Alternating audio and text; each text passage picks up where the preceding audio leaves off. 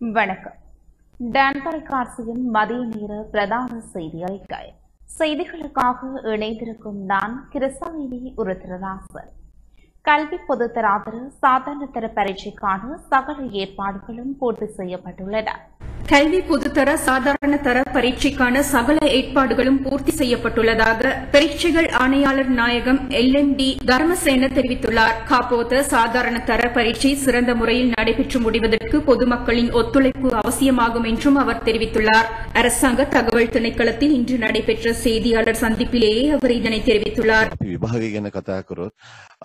අපි විභාගය ගැන කතා කරොත් අපි ඇත්තරම වෙනද වගේ සැහැල්ලුවෙන් වෙලාවට පාරි බස් දුවන වෙලාව වෙලාවට තෙ- මේ ඉන්දන සපය යාන්ත්‍රණයකින් තොරව තමයි මේ විභාගය පවත්වන්නේ. ඒ නිසා දරුවන්ගෙන් සහ දෙමව්පියන්ගෙන් ඒ වගේම රාජකාරී කරන නිලධාරීන්ගෙන් පළමුවෙන් ඉල්ලා සිටින්නේ අ, මේ 3847ට අයත් රාජකාරී කරන අපේ ගුරු මවුරු පියවරු සහ විදුහල්පතිවරුන් ඉල්ලා සිටින්නේ பரீட்சை நிலையங்களுக்கு நேரத்துடன் வர வேண்டியது மிகவும் அவசியமானது பரீட்சை நிலையங்களுக்கு வளமையை விடவும் நேரத்துக்கு சமூகம் அளிக்குமாறு பரீட்சை கடமைகளில் ஈடுபட்டுள்ள அதிகாரிகள் மாணவர்களுக்கு அறிவுறுத்துகின்றோம் பரீட்சை நிலையத்துக்கு மாணவர் ஒருவர் தாமதித்து வருவாராயின் அவரை திருப்பி அனுப்பாது பரீட்சைக்கு தோற்றுவதற்கான ஏற்பாடுகளை அந்த மாணவருக்கு ஏற்படுத்தி கொடுக்குமாறு பரீட்சை கடமைகளில் ஈடுபட்டுள்ள அதிகாரிகளுக்கு நாம் அறிவுறுத்தியுள்ளோம் இவ்விடயத்தில் விசேட அவதானத்தை செலுத்துவது அவசியம் பரீட்சைகளுக்கான சகல ஏற்பாடுகளும் பூர்த்தி செய்யப்பட்டுள்ளன. பரீட்சை நிலையங்களுக்கான கடமைகளில் ஈடுபடுத்தப்பட்டுள்ள சகலரும் அவர்களது பணிகளை தற்போது ஆரம்பித்துள்ளனர்.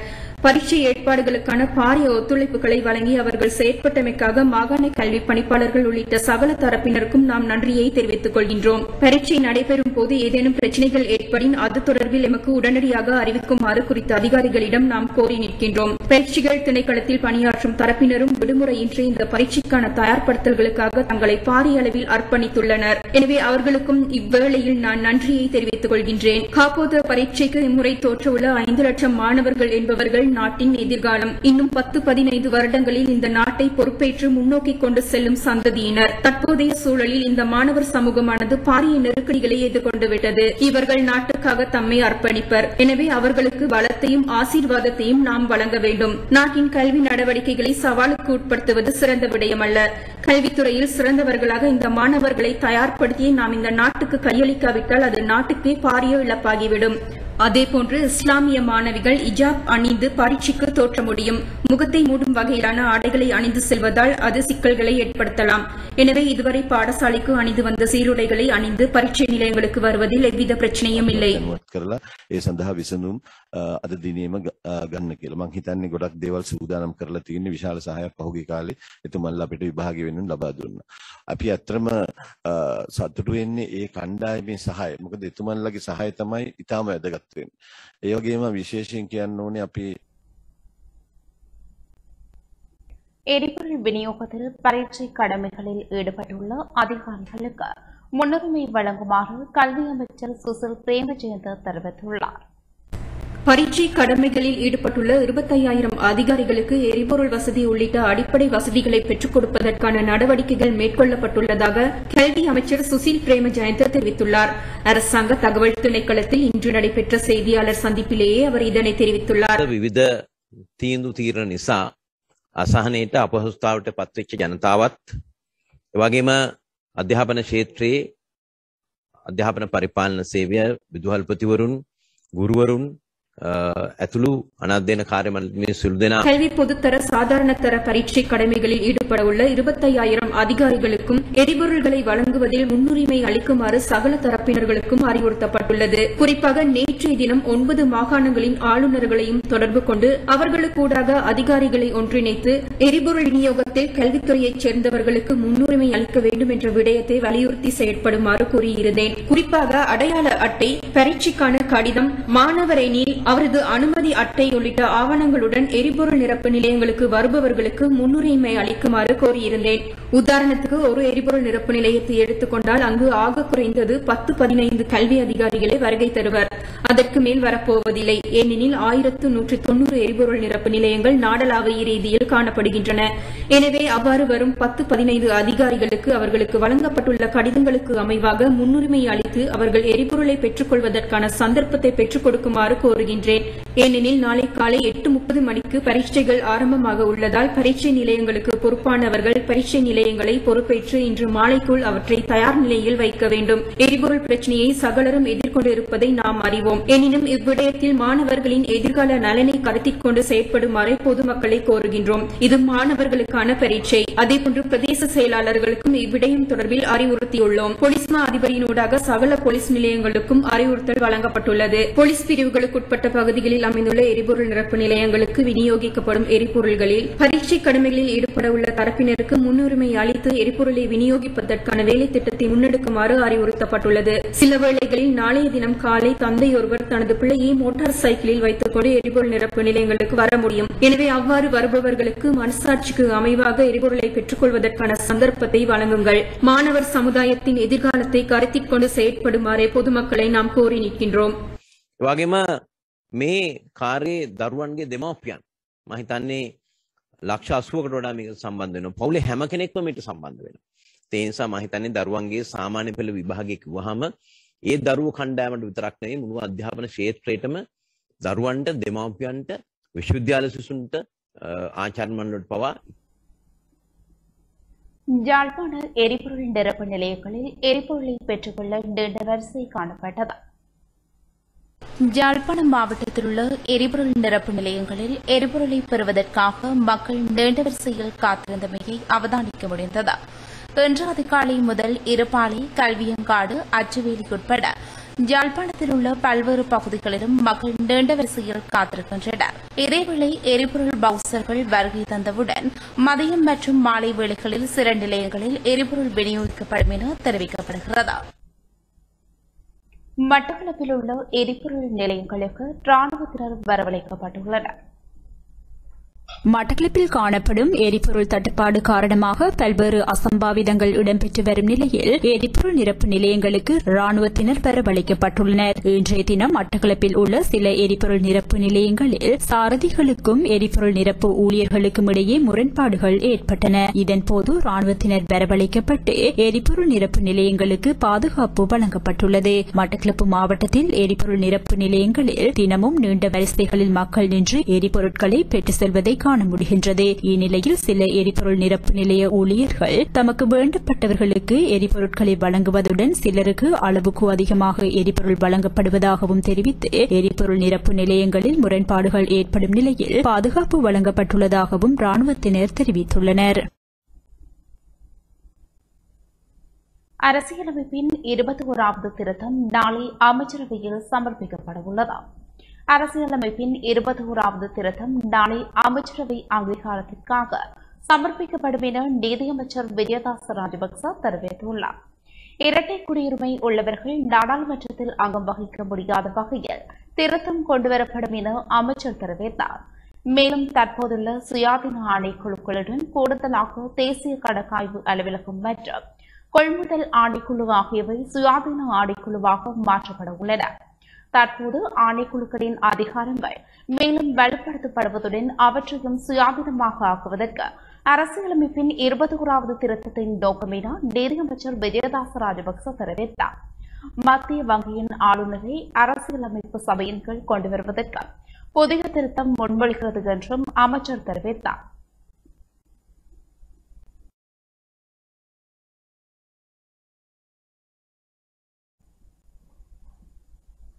இந்தியாவிலிருந்து அனுப்பி வைக்கப்பட்ட நிவாரணப் பொருட்கள் நாட்டை வந்தடைந்தன இந்தியாவினால் நன்கொடையாக வழங்கப்படும் இரண்டு பில்லியன் இலங்கை ரூபாவிற்கு அதிக பெறுமதி வாய்ந்த மனிதாபிமான உதவிப் பொருட்கள் இன்றைய தினம் நாட்டை வந்தடைந்துள்ளது தொள்ளாயிரம் மெட்ரிக் தொன் அரிசி ஐம்பது மெட்ரிக் தொன் பால்மா மற்றும் இருபத்தி ரெண்டு மெட்ரிக் தொன்னுக்கும் அதிகமான மருந்து பொருட்கள் அடங்கிய கப்பல் இன்று முற்பகல் கொழும்பு துறைமுகத்தை வந்தடைந்துள்ளது தமிழக முதலமைச்சர் மு க ஸ்டாலின் குறித்த உதவிப் பொருட்களை சென்னை துறைமுகத்திலிருந்து கொடியசைத்து அனுப்பி வைத்தார். தமிழக அரசாங்கத்தால் இலங்கைக்கு வழங்கப்படும் நாற்பதாயிரம் மெட்ரிக் டன் அரிசி ஐநூறு மெட்ரிக் டன் பால்மா மற்றும் மருந்து பொருட்கள் அடங்கிய உதவி திட்டத்தின் முதற் தொகுதியாக இந்த பொருள் தொகுதி அனுப்பி வைக்கப்பட்டுள்ளது.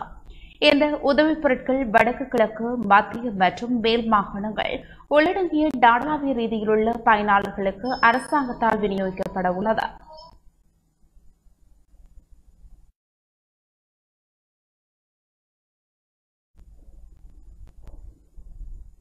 மன்னார் தாழ்வுப்பாடு கடற்கரையிலிருந்து நடுக்குடா வரையிலான கடற்கரை கரையோர பகுதிகள் இன்று சிரமதான பணி முன்னெடுக்கப்பட்டது. மன்னார் தாழ் மன்னார் தாழ்வுப்பாடு கடற்கரையிலிருந்து நடுக்குடா வரையிலான கடற்கரை கரையோர பகுதியை தூய்மையாக்கும் நடவடிக்கை இன்று காலை இடம்பெற்றது. மன்னார் மாவட்ட பொது அமைப்புகளின் ஒன்றியத்தின் ஏற்பாட்டில் தூய்மையாக்கல் நடவடிக்கை இடம்பெற்றது.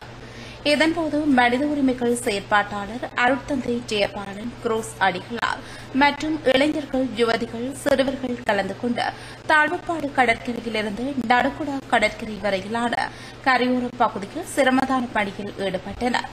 இதன்போது கண்ணாடி மற்றும் பிளாஸ்டிக் கழிவுப் பொருட்கள் உள்ளிட்ட கழிவுப் பொருட்கள் அப்பகுதியிலிருந்து அகற்றப்பட்டன. அகற்றப்பட்ட கழிவுப் பொருட்கள் மன்னார் பிரதேச சபையின் உதவியுடன் அப்பகுதியிலிருந்து கொண்டு செல்லப்பட்டமை குறிப்பிடத்தக்கது. சபுகஸ்கந்த பிரதேசத்தில் நானூற்று ஐந்து கிலோகிராம் கேரள கஞ்சாவுடன் ஒருவர் கைது செய்யப்பட்டுள்ளார். கம்பஹா சபுகஸ்கந்த பிரதேசத்தில் போலீஸ் போதைப்பொருள் பிரிவினர் நேற்று மேற்கொண்ட விசேட தேடுதல் நடவடிக்கையின் போது நானூற்று ஐம்பது கிலோகிராம் கேரள கஞ்சாவுடன் ஒருவர் கைது செய்யப்பட்டுள்ளார். பதுளை பிரதேசத்தைச் சேர்ந்த முப்பத்தி இரண்டு வயது நபரே இவ்வாறு கைது செய்யப்பட்டுள்ளார். இதன்போது கேரளா கஞ்சா அடங்கிய இருநூற்று ஐம்பது பொதிகளும் கைப்பற்றப்பட்டுள்ளன. இது தொடர்பில் போலீசார் மேலதிக விசாரணைகளை மேற்கொண்டு வருகின்றனர். மட்டக்களப்பின் பொருளாதார அபிவிருத்திக்கு பங்களிக்க விரும்பும் புலம்பெயர் தமிழர்கள். தமிழமுள்ள முதலீட்டு திட்டங்களை அமல்படுத்த முடியும் என மட்டக்களப்பு மாநகர சபையின் முதல்வர் தீனா சரவணபவன் கோரிக்கை விடுத்துள்ளார்.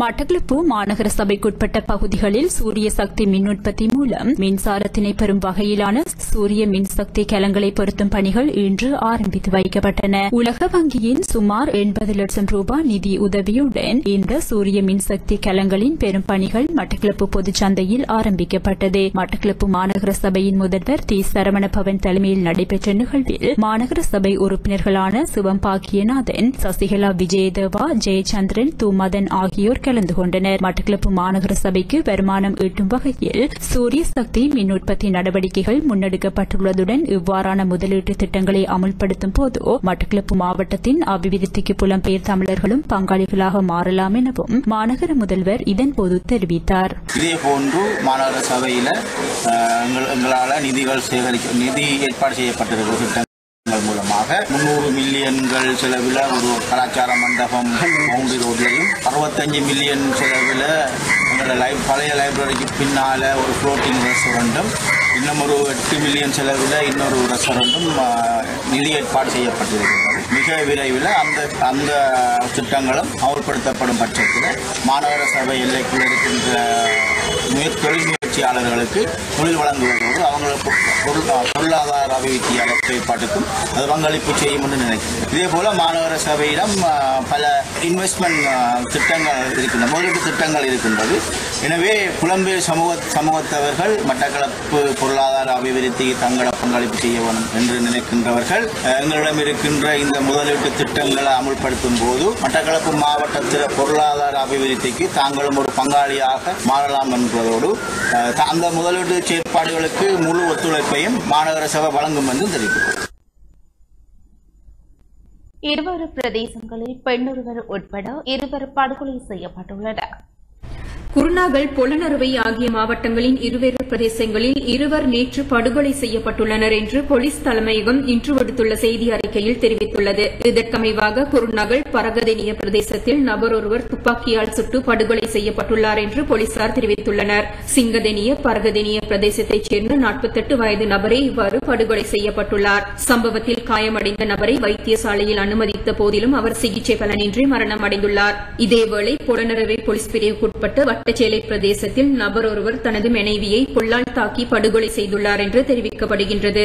வட்டச்சேலை புலனறுவை பிரதேசத்தைச் சேர்ந்த முப்பத்தொரு வயது பெண்ணே இவ்வாறு படுகொலை செய்யப்பட்டுள்ளார். சம்பவத்தில் காயமடைந்த பெண்ணை வைத்தியசாலையில் அனுமதித்த போதிலும் அவர் சிகிச்சை பலனின்றி உயிரிழந்துள்ளார். சம்பவத்துடன் தொடர்புடைய நபரை கைது செய்வதற்கான நடவடிக்கையில் போலீசார் ஈடுபட்டு வருகின்றனர். இது தொடர்பில் போலீசார் மேலதிக விசாரணைகளை மேற்கொண்டு வருகின்றனர். மட்டக்களப்பு மாவட்டம் அடைச்சக்கல் பிரதேசத்தில் யானையின் தாக்குதலுக்கு இலக்காக ஒருவர் உயிரிழந்துள்ளார். மட்டக்களப்பு மாவட்டத்தின் கொக்கட்டிச்சோலை போலீஸ் பிரிவிற்குட்பட்ட அடைச்சிகள் பிரதேசத்தில் யானையின் தாக்குதலுக்கு இலக்காகி குடும்பஸ்தர் ஒருவர் சம்பவ இடத்தில் உயிரிழந்துள்ளார். ரன்சேனை கிராமத்தை சேர்ந்த இரண்டு பிள்ளைகளின் தந்தையான நாற்பது வயதுடைய படிவேல் குணராசா என்பவரே நேற்று மாலை யானையின் தாக்குதலுக்கு இலக்காகி பலியானதாக கொக்கட்டிச்சோலை போலீசார் தெரிவித்தனர். சம்பவ தினத்தன்று தனது வீட்டிலிருந்து அடைச்சிகள் பிரதேசத்திற்கு மேய்ச்சலுக்கு சென்ற தனது மாடுகளை அழைத்து வர சென்றபோது மறைந்திருந்த யானை தாக்கியதில் குறித்த நபர் சம்பவ இடத்திலேயே உயிரிழந்ததாகவும் தொடர்ந்து மீன்பிடியில் ஈடுபட்டவர்கள் குறித்த நபரின் உடலை சம்பவ இடத்திலிருந்து மீட்டெடுத்து வீட்டுக்கு கொண்டு வந்ததாகவும் போலீசாரின் ஆரம்பகட்ட விசாரணைகளின் போது தெரியவந்துள்ளது. கொக்கட்டிச்சோலை போலீஸ் நிலைய பொறுப்பதிகாரியின் வேண்டுதலுக்கு அமைவாக சம்பவ இடத்திற்கு சென்ற மண்டூர் பிரதேச மரண விசாரணை அதிகாரி தம்பிப்பிள்ளை தவக்குமார் சடலத்தை பார்வையிட்ட பின்னர் பிரேத பரிசோதனைக்கு உட்படுத்துவதற்கு பிரேதத்தை மட்டக்களப்பு போதனா வைத்தியசாலைக்கு எடுத்துச் செல்லுமாறு போலீசாருக்கு உத்தரவிட்டார். ஹரின் பெர்னாண்டோ மற்றும் மேடிசன் ஆணையக்காரர் ஆகியோருக்கு எதிராக ஒழுக்காற்று நடவடிக்கை எடுக்கப்படும் என எதிர்க்கட்சித் தலைவர் சஜித் பிரேமதாஸ் தெரிவித்துள்ளார். ஐக்கிய மக்கள் சக்தியின் தீர்மானத்தை மீறி அரசு பக்கம் சாய்ந்து அமைச்சர் பதவிகளை பெற்றுக்கொண்ட ஹரன் பெர்னாண்டோ மற்றும் மேடிசன் ஆகியோருக்கு எதிராக ஒழுக்காற்று நடவடிக்கை எடுக்கப்படும். இவர்கள் இருவரினதும் இந்த செயற்பாடு மிகவும் அருவருக்கத்தக்கது என எதிர்க்கட்சித் தலைவரும் ஐக்கிய மக்கள் சக்தியின் தலைவருமான சஜித் பிரேமதாச தெரிவித்துள்ளாா் ஊடகங்களுக்கு கருத்து தெரிவிக்கும் போதே அவர் இதனை தெரிவித்தார். பிரதமர் ரணில் விக்ரமசிங்க தலைமையிலான அரசின் நல்ல கர்மங்களுக்கு ஐக்கிய மக்கள் சக்தி எதிரணியில் இருந்து கொண்டு ஆதரவு வழங்கும் எனவும் அமைச்சு பதவிகளை ஏற்பதில்லை எனவும் நாம் ஏற்கனவே முடிவெடுத்திருந்தோம். இந்த நிலையில் ஹரின் பெர்னாண்டோவும் மேடசன் ஆணையக்காரவும் எமது கட்சியின் முடிவை மீறி செயற்பட்டுள்ளதால் அவர்களுக்கு எதிராக ஒழுக்காற்று நடவடிக்கை எடுக்கப்படும். எமது கட்சியிலிருந்து உறுப்பினர்களை அரசு பக்கம் எடுத்தால் எமது ஆதரவை வாபஸ் பெறுவோம் என நாம் ஏற்கனவே தீர்மானித்திருந்தோம். இந்த நிலையில் ஹரினுக்கும் மனசுவுக்கும் அமைச்சு பதவிகளை அரசு வழங்கியுள்ளதால் அரசுக்கு எமது ஆதரவு தொடர்பில் ஐக்கிய மக்கள் சக்தி கூடி பரிசீலிக்கும் என தெரிவித்தார். அனுராதபுரத்தில் உள்ள எரிபொருள் நிலைய உரிமையாளர் ஒருவரின் வீட்டிற்கு தீ வைக்கப்பட்டுள்ளது அனுராதபுரம் மாவட்டம் கெக்ராவ இப்பலோக்கம திலகபுர பகுதியில் உள்ள எரிபொருள் நிலைய உரிமையாளர் ஒருவரின் வீட்டிற்கு சிலரால் தீ வைக்கப்பட்டுள்ளது இப்பலோக்கம பகுதியில் உள்ள அவருக்கு சொந்தமான எரிபொருள் நிலையத்தில் எரிபொருள் கிடைக்கவில்லை என்ற ஆதங்கத்தில் குறித்த வீட்டிற்கு தீ வைத்திருக்கலாம் என காவல்துறையினர் சந்தேகம் வெளியிட்டுள்ளனர். தீ வைக்கப்பட்ட சந்தர்ப்பத்தில் எரிபொருள் நிலைய உரிமையாளரின் மனைவி மற்றும் இரண்டு பிள்ளைகள் வீட்டினுள் இருந்துள்ளனர். எனினும் பிரதேசவாசிகள் மற்றும் காவல்துறையினர் இணைந்து அவர்களை பாதுகாப்பாக மீட்டுள்ளனர். குறித்த பிள்ளைகளில் ஒருவர் நாளை ஆரம்பமாகவுள்ள கல்வி பொதுத்தராதர சாதாரணதர பரீட்சைக்கு தோற்றவுள்ளதுடன் அவரின் பாடசாலை உபகரணங்கள் தீயில் எரிந்துள்ளதாகவும் வீட்டிற்கு பாரிய சேதம் ஏற்பட்டுள்ளதாகவும் காவல்துறை தெரிவித்துள்ளது. யாழ்ப்பாணத்தில் விற்பனை நிலையம் ஒன்று இன்று தீப்பற்றி தீப்பற்றியிருந்துள்ளது யாழ்ப்பாணம் ஸ்டான்லி வீதியில் உள்ள விற்பனை நிலையம் ஒன்று இன்று அதிகாலை தீப்பற்றி எரிந்து முற்றாக சேதமடைந்துள்ளது. இன்று அதிகாலை இரண்டு முப்பது மணியளவில் விற்பனை நிலையத்தில் திடீரென ஏற்பட்ட தீ கடை முழுவதும் பரவி முழுமையான சேதத்தை ஏற்படுத்தியது. இதனையடுத்து தீப்பரவலை கட்டுப்படுத்துவதற்காக யாழ் மாநகர சபை தீயணைப்பு படை முயற்சிகளை மேற்கொண்டது. விற்பனை நிலையம் தீப்பற்றியிருந்தமை தொடர்பில் மேலதிக தகவல்கள் எதுவும் வெளியாகாத நிலையில் யாழ்ப்பாண போலீசார் விசாரணைகளை மேற்கொண்டு வருகின்றனர். மட்டக்களப்பு மாவட்டம் களுவாச்சிக்குடி சுகாதார பிரிவின் டெங்கு ஒழிப்பு நடவடிக்கை முன்னெடுக்கப்பட்டது.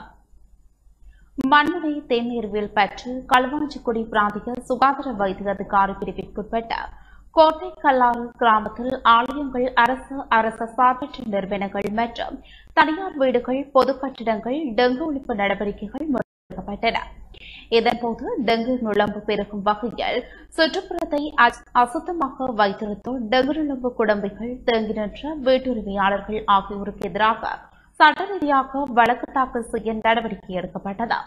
பிராந்திய சுகாதார வைத்திய அதிகாரி டாக்டர் எஸ் ராஜேந்திரன் வழிகாட்டலில் மேற்பார்வை பொது சுகாதார பரிசோதகர் எஸ் யோகேஸ்வரன் ஒழுங்கமைப்பில் பிரதேச பொது சுகாதார பரிசோதகர்கள் டெங்கு ஒழிப்பு செயலகத்தின் குழுவினர் போலீசார் ராணுவத்தினர் ஆகியோர் இணைந்து இச்செயற்பாட்டில் ஈடுபட்டனர் துறை நிலாவணி பெரிய கல்லாறு கோட்டை கல்லாறு ஒந்தார்சிம்படம் மகளூர் குருமின்வெளி எருவில் பாண்டிருப்பு களுவாஞ்சிக்குடி கழுதாவிளை தேத்தாத்தீவு மாங்காடு செட்டியாலயம் குருக்கள் மடம் ஆகிய கிராமங்களில் வசிக்கும் மக்கள் தங்களது சுற்றுப்புறத்தை தூய்மையாக வைத்திருக்குமாறு டெங்கு நுழம்பு பெருகும் வகையில் சுற்றாடலை வைத்திருப்போருக்கு எதிராக சட்ட நடவடிக்கை எடுக்கப்படும் எனவும் சுகாதார பிரிவினர் கோரிக்கை விடுத்துள்ளனர்.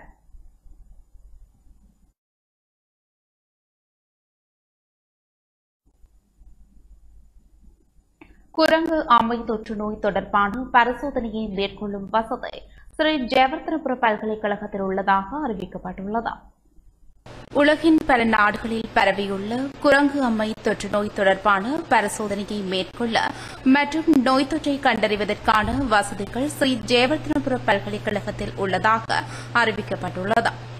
ஸ்ரீ ஜெயவர்த்தனபுர பல்கலைக்கழகத்தின் ஒவ்வாமை எதிர்ப்பு சக்தி ஆய்வு மற்றும் மரபணு விஞ்ஞான நிறுவகத்தின் பணிப்பாளர் கலாநிதி சந்திம ஜீவந்தர் இந்த விடயத்தை தெரிவித்துள்ளார். அதன் அடிப்படையில் ஸ்ரீ ஜெயவர்த்தனபுர பல்கலைக்கழகத்தின் ஒவ்வாமை எதிர்ப்பு சக்தி அறிவியல் மற்றும் உயிரணு ஆய்வு நிறுவகத்தின் அது தொடர்பான பரிசோதனையை மேற்கொள்ள முடியும் என அவர் தனது டுவிட்டர் பக்கத்தில் பதிவொன்றியிட்டுள்ளாா் மேற்கு மற்றும் மத்திய ஆப்பிரிக்க நாடுகளில் குரங்கு அம்பை தொற்று அடையாளம் காணப்பட்டது. அந்த நோய் தற்போது ஐரோப்பிய நாடுகளிடையே பரவத் தொடங்கியுள்ளது. இதனால் உலக சுகாதார அமைப்பு லண்டன் நகரில் அவசர கூட்டத்தை ஏற்பாடு செய்திருந்தது.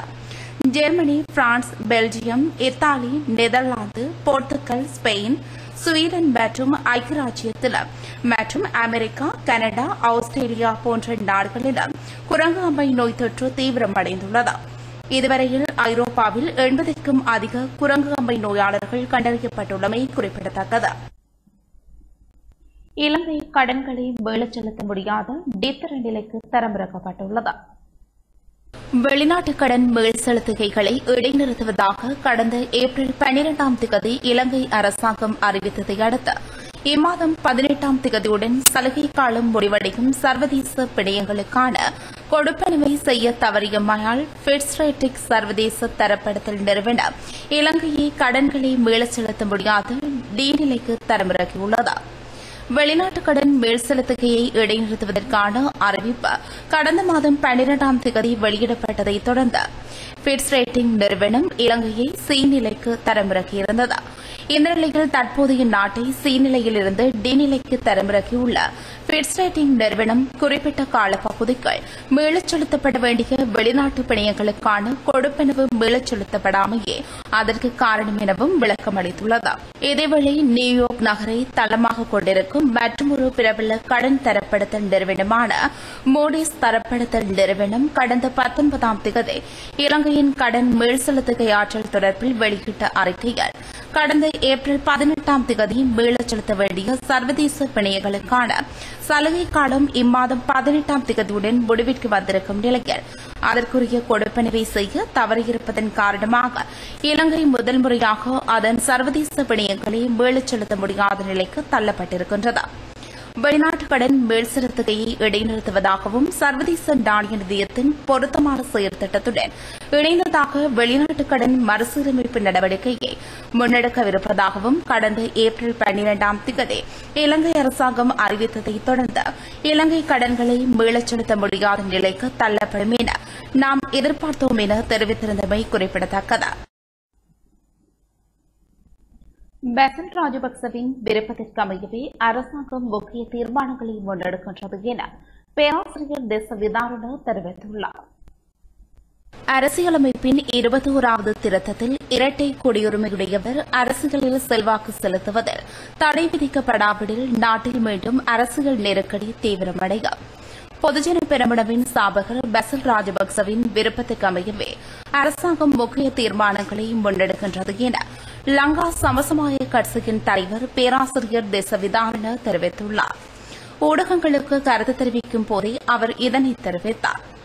நாட்டில் பொருளாதார நெருக்கடியும் அரசியல் நெருக்கடியும் தீவிரமடைவதற்கு முன்னாள் நிதியமைச்சர் பெசல் ராஜபக்ச பொறுப்பு கூற வேண்டும் என்பதில் எவ்வித மாற்று கருத்தும் கிடையாது. முன்னாள் பிரதமர் மஹிந்த ராஜபக்ச தலைமையிலான அரசாங்கத்தின் தன்னிச்சையான தீர்மானங்களின் காரணமாக அரசியல் நெருக்கடி தீவிரமடைந்தது. பொதுஜன பிரபுணர் தலைமையிலான அரசாங்கம் மக்களாட்சிக்கு முரணாக செயல்பட்டதால் கூட்டணியிலிருந்து பதினோரு அரசியல் கட்சிகளும் வெளியேறி பாராளுமன்றத்தில் சுயாதீனமாக செயற்படுகின்றோம். சர்வ கட்சிகளையும் ஒன்றிணைத்து இடைக்கால அரசாங்கத்தை ஸ்தாபிக்கும் யோசனைக்கு பிரதான எதிர்க்கட்சிகள் இணக்கம் தெரிவிக்காத காரணத்தினால் ஐக்கிய தேசிய கட்சியின் தலைவர் ரணில் விக்ரமசிங்க தலைமையில் புதிய அரசாங்கம் ஸ்தாபிக்கப்பட்டுள்ளது. பொருளாதார நெருக்கடிக்கு தீர்வு காண வேண்டுமாயின் அரசியல் ஸ்திரத்தன்மை பேணப்பட வேண்டும் என்பதால் பிரதமர் ரணில் விக்ரமசிங்க தலைமையிலான அரசாங்கத்துக்கு ஆதரவு வழங்க தீர்மானித்தோம். நிபந்தனையற்ற எமது ஆதரவை அரசாங்கம் தவறான முறையில் பயன்படுத்திக் கொள்ளக்கூடாது. அரசியலமைப்பின் இருபதாவது திருத்தம் முழுமையாக ரத்து செய்யப்பட்டு பத்தொன்பதாவது திருத்தம் மீண்டும் நடைமுறைப்படுத்தப்பட வேண்டும். இருபத்தோராவது திருத்தம் விரைவாக செயற்படுத்தப்பட வேண்டும் என்று பொது கோரிக்கையை அரசாங்கத்திடம் முன்வைத்துள்ளோம் இரட்டை குடியுரிமையுடையவர் அரசியலில் செல்வாக்கு செலுத்த அரசியலமைப்பின் இருபதாவது திருத்தத்தில் வழங்கப்பட்டுள்ள வரப்பிரசாதம் முழுமையாக நீக்கப்பட வேண்டும் என்பது எமது பிரதான கோரிக்கையாக உள்ளதுடன் மக்களின் பிரதான எதிர்பார்ப்பாகவும் உள்ளது. இருபத்தோராவது திருத்தத்தில் நாட்டு மக்களின் எதிர்பார்ப்பு நிறைவேற்றப்படாவிடன் நாட்டில் மீண்டும் அரசுகளின் நெருக்கடி தீவிரமடையும் என்பதை தெளிவாக குறிப்பிட்டுள்ளோம். பொதுஜன பெரமுனவின் ஸ்தாபகர் பெசல் ராஜபக்சவின் விருப்பத்திற்கமைய தற்போதைய அரசாங்கத்தில் முக்கிய தீர்மானங்கள் முன்னெடுக்கப்படுகின்றமை கவலைக்குரியது என பேராசிரியர் திச விதாரண தெரிவித்துள்ளார். மாலைதீவு சபாநாயகரை எதிர்க்கட்சித் தலைவர் சஜித் பிரேமதாஸ் சந்தித்துள்ளார்.